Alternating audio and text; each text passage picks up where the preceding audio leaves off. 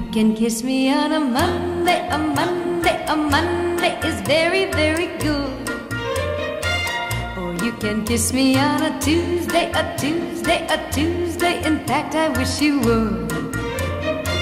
Or you can kiss me on a Wednesday, a Thursday, a Friday, a Saturday is best. But never, never on a Sunday, a Sunday, a Sunday, cause that's my day of rest.